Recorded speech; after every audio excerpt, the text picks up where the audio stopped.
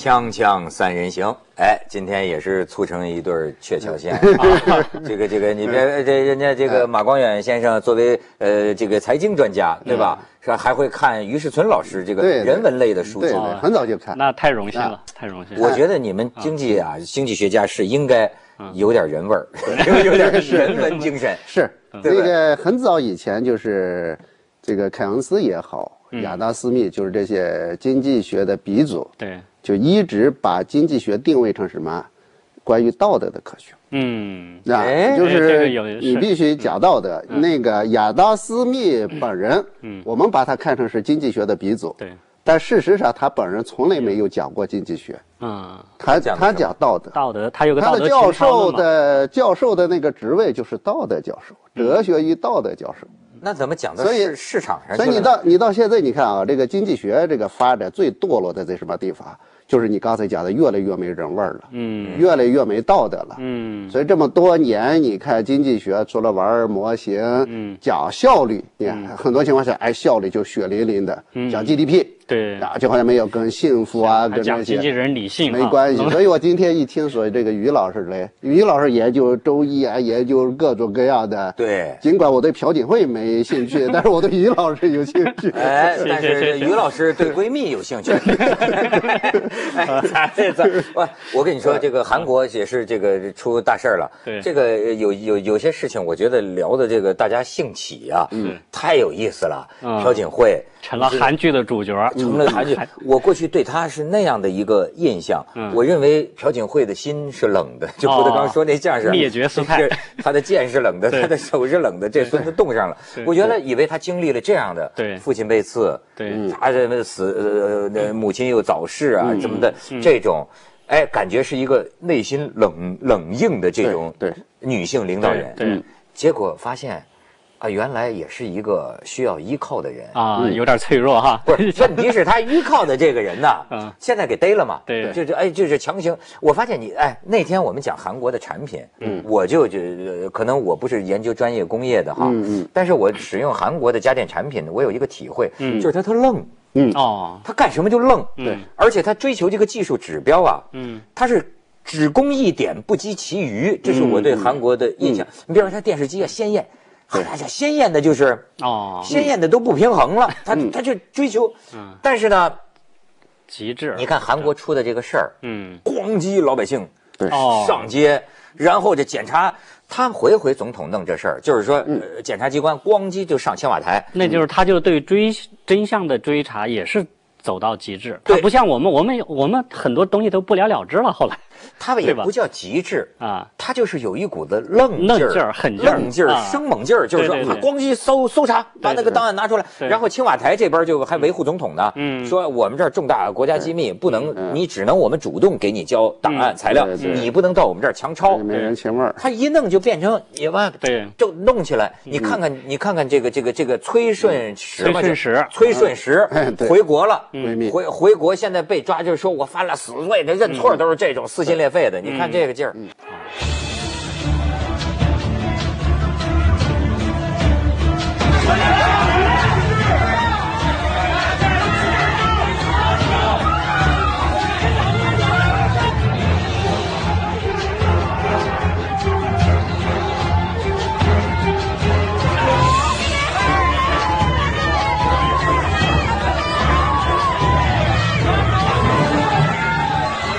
李老师是不是这个告诉你的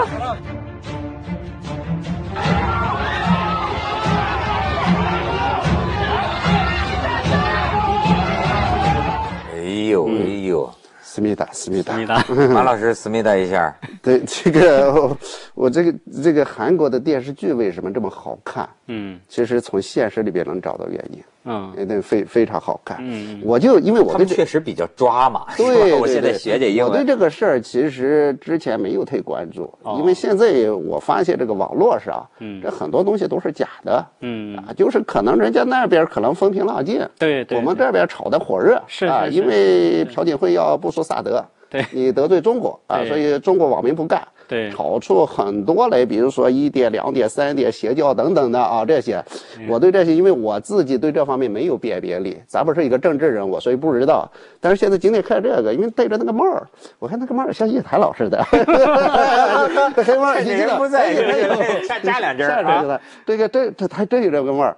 然后呢，你发现这个这个很多热闹的场景，嗯而且这个剧情细节等等，都跟那个韩剧里边是差不多的。嗯啊，所以这个我就到现在为止，我还是想不明白，如果说仅仅是因为干政，呀，就是帮她的闺蜜，嗯然后修了一下啊假话修改假话稿儿稿等等，我还觉得挺好的。我也我也是，我也跟马老师的我说为什么会这么愤怒？因为因为你看我、我我刚才还会问那个马爷了，我说你写的文章太太看没看？他说他看，给他看。那我我写的东西我也会第一读者是我的太太呀，她也会提意见啊。崔崔顺实是他太太吗？呃不是不是不是，我只是说我们要会给身边的人看嘛。我们就说至少我太太也好，或者说朴槿惠的闺蜜也好，都是她最最亲近的人嘛。她会，我觉得这个是情有可原。我我也看见一篇，就是说文章，就是跟你们这个观点类似，就是说啊，说是这个没有什么法律规定，嗯，总统不能请民间人士，对。呃，这个参与他的一些个幕僚或嗯者是商量一些事。当然，如果说他是这个法律的，不能够给民间人士的文件，对。呃，法律规定不能泄露给他的东西啊那当然是违法的。对。但是呢，如果没法律没有这个明确规定，嗯。那他的同学、他的好朋友嗯对。说我明天要演讲，你帮我出出主意。我就没错。我来之前呢，我还又查了一下啊，我看看这这个究竟违背了什么样的法律。它好像有个总统档案法、哦啊，就是说你要是这些东西是不能、哦不能给人看的，那就是还那么是触及即便法律了嘛。如此啊，我们假定啊，嗯即便就说触犯了这么一个法律，但是也不应该有如此大的愤怒。你看刚才我们看到那个那个画面，对那是非常愤怒的。嗯那种愤怒的情形，就是说一定是有深仇大恨，啊，才会这么，然后来来来来围攻他，然后来怎么样？他会讲刚才文涛说了一个词儿，你说是抓还是什么？韩国人有个什么劲儿？嗯愣劲儿，愣劲儿愣劲儿，愣劲儿，我觉得这个就表现的就是他的社会啊，嗯他还是能够起到一个我觉得一个我们说的正常社会的那嗯种、那种精神，能把人人的日常生活中的细节中的那个不妥当的东西抓出来，抓出来让他有那种羞辱感，让他有那种他戴个帽子他遮住自己，这是我们东那不他不像他不像我们，我们有很多那个贪官，我们很多我们有很多贪官不还在镜头面前微笑吗？对对，对吧他这个他没有羞耻感韩日好像还是有这个耻这个字。对对对，就是他耻啊！对你包括为什么朴槿惠还没怎么着呢，就是道我也道歉，我也认罪。而且讲死罪，这个对是吧？那这他就咱他是不是他们文化当中觉得你这个人得知道害臊，嗯知知道丢人，你知道羞耻，对吧？也许你没有那么大的罪，但是你行事不妥当，不不妥当，哎，你你做人就是你在这么高位上，对。好像，但是实际上啊，就我跟你说，他也没有那么简单，嗯，就因为什么呢？你就说韩国人为什么反应这么大？这么大，对嗯。太强了，对，他反应这么大呀，因为呃就就像你说的，跟很多事儿结合起来了，嗯。甚至现在就结合起来说，三星，嗯你知道吗？哎，我给你们看一看一些照片啊，你这是咱咱们可以看看。这个，你瞧，还，这被操纵了，对啊对。这是我们的总统被操纵了，对。这是他们年轻的时候，这个崔顺实，嗯，这个崔顺实他爹啊崔泰民是一个据说是崔泰民，是邪教的教一个教的勇勇士党啊教主。你看这一边是这个这个谁啊、朴槿惠他爹，一边是这个崔顺实他爹。嗯，当年崔顺实他爹作为一个什么教的教主啊，嗯，据说洗脑了，嗯，朴槿惠，啊，然后呢就是预言。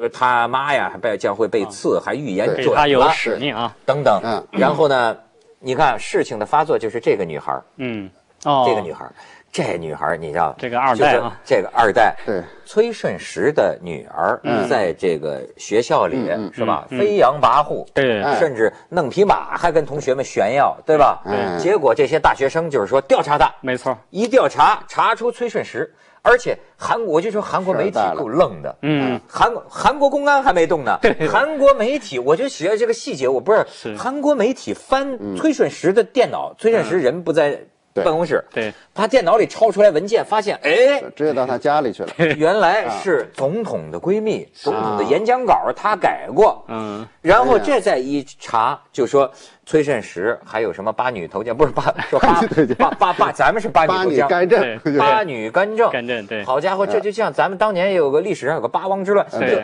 八女干政。然后这又说这些跟某些财团的计划有关系，嗯跟什么什么？嗯咱们先去一下广告再论啊。好锵锵三人行，广告之后见。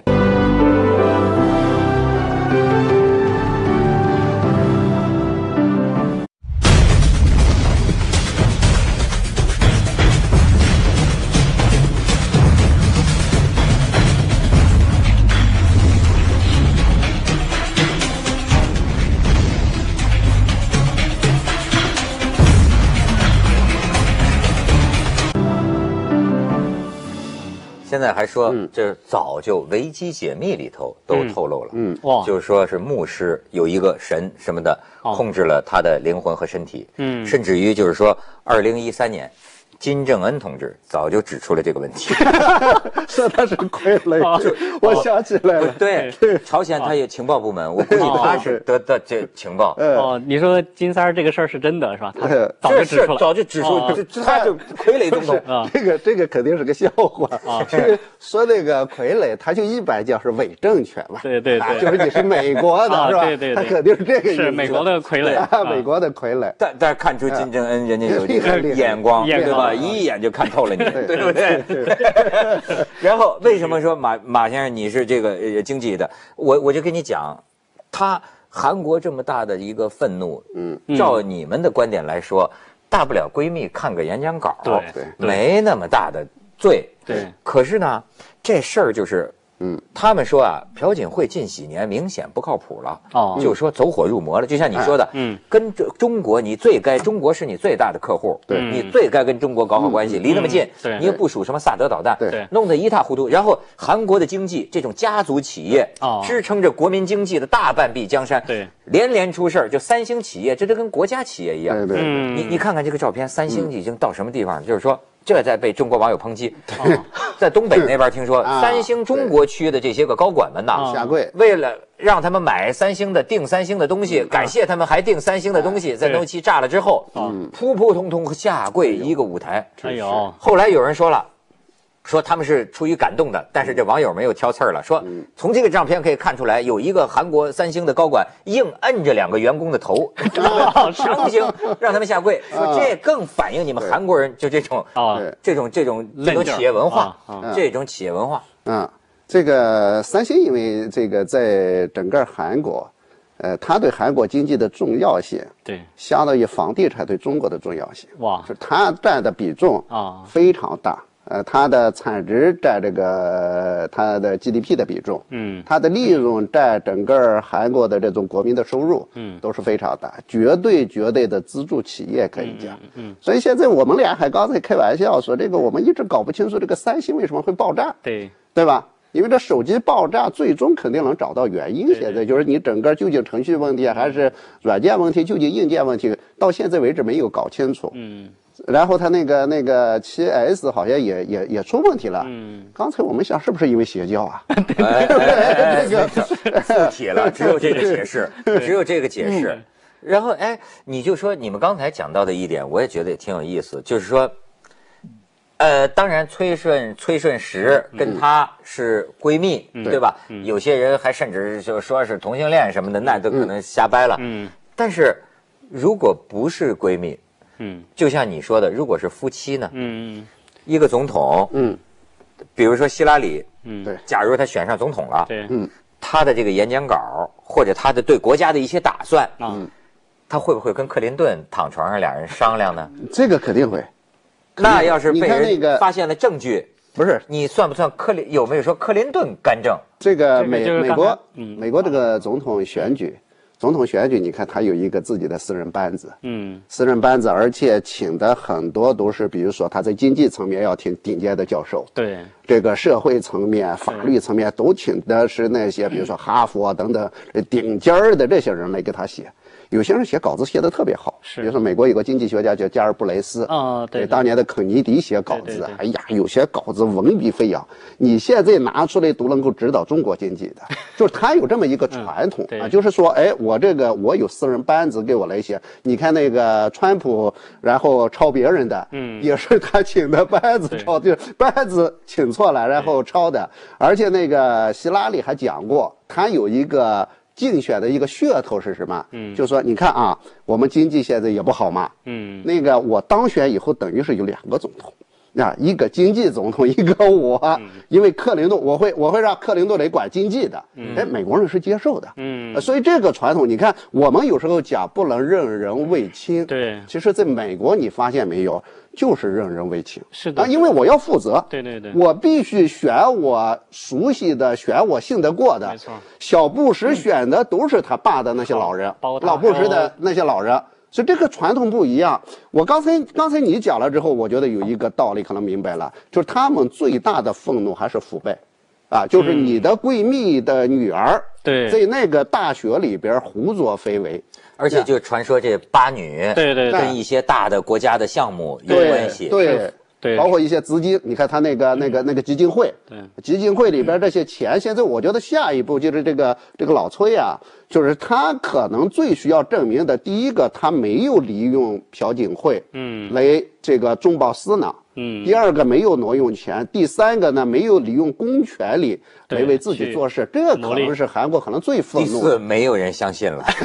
对对 这这对这话，我觉得这个事儿，那个给我们的一个一个一个一个感受就是说，让我们知道，无论是美国还是韩国，它的 number one 不是孤家寡人，不是神，对，它背后都是有一波，就像我们说的亲人啦、朋友啊、同学呀啊包括美国经常是任命同学在那儿住个大使，对。这都是正正常的，常理解很正常，嗯，他不像我们，我们就以为他就代表国家公器、国家元首那个地位，他身边就没人了。他跟他跟第第二号或跟他的同学已经拉开距离了，嗯，已经用你的话，已经无情无欲无亲了，没到这种程度。哎，其实嗯一直就有这个传说，就是你比如说这个，呃，说美国总统，比如说呃，说呃说林肯总统，实际上背后有个星座星象哦学家，嗯哎，这个认识也是言之凿凿的。我发现各国都经常有这么一些，就是说，实际上他全是要看星盘的。那不还有里根原来也很哦，迷里根个，是说是里根还是林肯，我忘了。占星术嘛占星术，对他背背背后有，但有哎，你说有没有可能？有没有什么可能？就是说，国家的这种领导人呐、嗯有的时候啊，哎，这面对一个国的命运的时候啊，哎，我要说，，哎这个我我觉得很正常。像那个，比如说斯大林在二战前，他也是要、他那么一个唯物主义者，他他要他要祷告啊。希特勒去攻打波兰的前夜，他也是在祷告啊。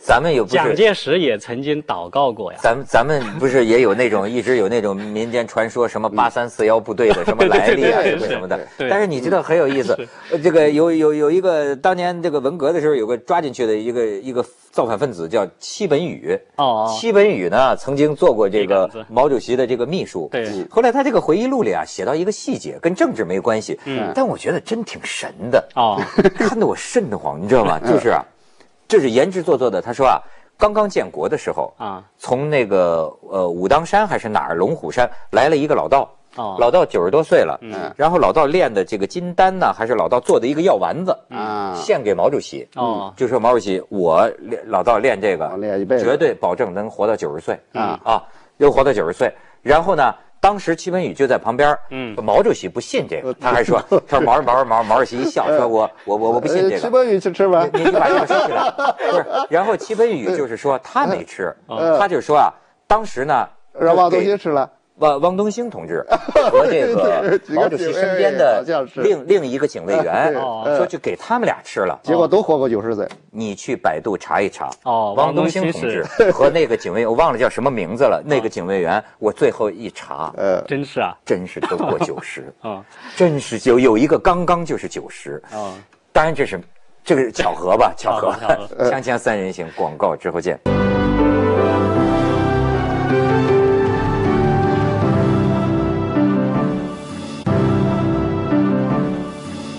你知知道，我看这个女性啊，嗯也挺有意思的。嗯这个我这个闺蜜，我也有闺蜜，对闺蜜现在闺蜜啊是女性朋友圈的一个大话题。对说什么防狼防什么防闺蜜防闺蜜。嗯，哎，你说这个有没有点歧视女性的色彩？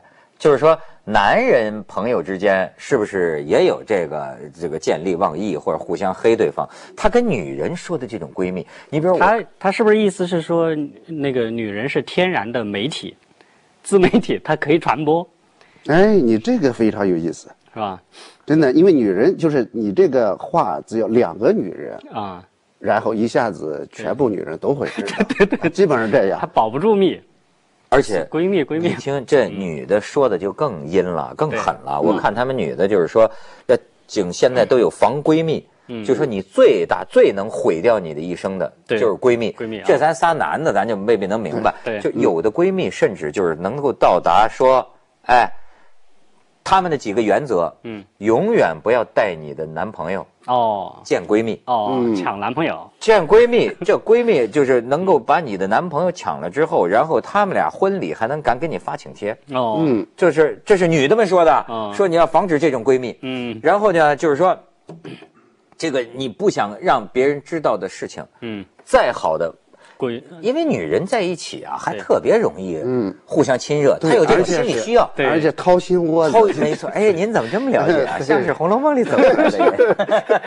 人。是，而且这个我去看那个很多女孩子，你看都是从最最亲密啊。到反目成仇。哦，那所以现在如果我们回到这个朴槿惠跟崔顺实，我还觉得挺感动的。嗯，到现在为止没有听出他们两个有什么，而且、而且你看出这个事儿以后老崔还从德国回来了，嗯他没有躲他回来，而且他直接没有，我们现在没有听到说他推卸给朴槿惠，嗯说他让我干的，情比金坚的。哎，对，哦说他让我干的，说怎么样，怎么把这个责任全部推出去，而是说，哎，我自己有责任啊，等等呀。所以他为什么对他非常依赖，啊，可能还是有道理那。就说明闺哎蜜闺蜜还是有，还是值得信对服，的。因为那个啥呢，这个于老师他是研究周易的，有一段子我看他写周易很好。你说这个东西，你看现在现在东亚事儿特别多，嗯，呃，而且韩政坛不国的国旗断的，对，嗯你觉得是得太极八卦对太极八卦哎对你觉得跟这个有关系吗？就是现在这个运势是不是到了 东方这个地方？真的，你给我们哎讲讲。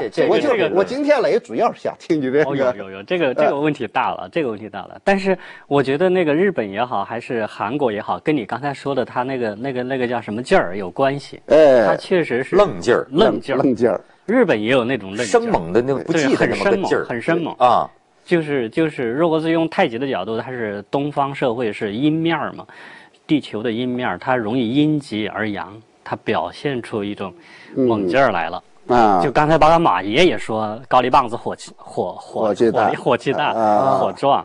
这个我觉得其实也是但是为什么中国人这么包容？你别别对对贪官，嗯呃，对这个政治人物的很多，你别说中国很多官员的一些作为啊，嗯，如果说拿到韩国，那那肯定不能容忍，那是零容忍。吧为什么？对是吧？我们其实很包容对这些事儿。哎我告诉你为公什么啊众人物，我见过在在北大还是在哪儿，在在呃中国大学里的一个韩国学者，嗯他分析这个事情，嗯他说为什么韩国人火气爆，嗯就脾气暴，嗯他说你看我们的地形啊，是狭长，你看当年美军仁川登陆，他说你大陆人呐，你有广阔的腹地，你可以撤退，他说对我们韩国人来说，仁川一登就是我们一打就是背水一战，对对我们后再退就是海，我们是个特别狭长，岛国，你看，这就是跟日本一样嘛，他这个岛国和半岛，对就他这个性格，嗯一下就跟你最后死磕，对因为不死磕后头就是海。所以而且你看那个那个岛国，他都有危机感。对，而且这危机感的情况下，它爆发出来的那种潜力非常巨大。人类文明走到今天为止，其实两个岛国你还真的重视，一个是英国，嗯我们现在所有的文明都是大英帝国当年慢慢的，对吗？政治文明、技术文明、工业文明，所有的几乎都来自它这个地方，嗯包括法律。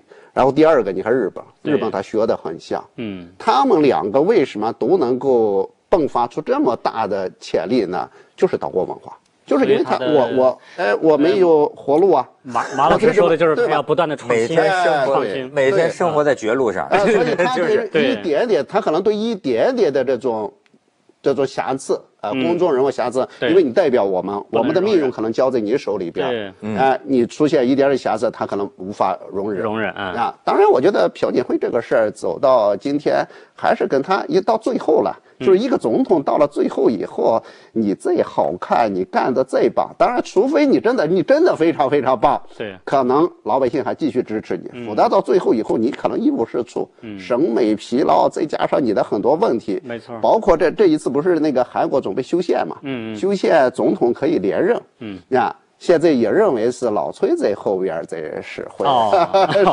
我我现在就是这个，就是有有理由推测，就说他的这个模式啊，还跟还是跟西方不不可能是一样的，嗯。因为你看他的国家的经济。它什么叫资本主义啊？嗯。它是家族企业，家族企业嗯这就就占到了百分之七六七七八差不多十，差不多。几个大的家族企业。哎，一个这样经济模式的国家，我就说 我有我有理由没有事实根据的去推测，嗯。它的政治啊。没有那么简单的，没对你推的是对的，对吧？他肯定你是企业模式背后的各种势力在对你跟你就是我我相信他这个朴槿惠背后的他的政治运作呀，对。呃不可能是像咱们理解的，啊。呃，像西方式的民主，他也不嗯。不可能是那样的。对对对，但是他背后是不是崔崔顺实？嗯。哎，你你知道，甚至过去有人说中国就是某个年代都说嗯。说哎，在前面的对。那都是傀儡，对 是是是。后边的。真正有实力的在后边，对，是不是？而且现在都能听到说，你看我有这么多钱，你知道我跟谁拦着吗？对。哦 也会带持提到这个我是带持，对对代，持的。对对。我是空手套哈，戴手套，所以当然这个也很正常，因为经济本身它决定政治对啊，就是我你觉得这个也在那边代表谁，所以我们不能